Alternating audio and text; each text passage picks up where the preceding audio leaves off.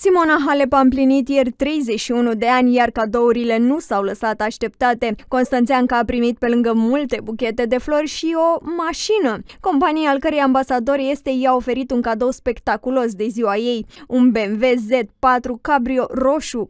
Mașina în valoare de aproximativ 65.000 de euro a făcut-o pe jucătoarea de tenis extrem de fericită și s-a postat pe contul ei de Instagram. Sunt îndrăgostită, a scris Simona Halep lângă fotografia cu prețiosul cadou.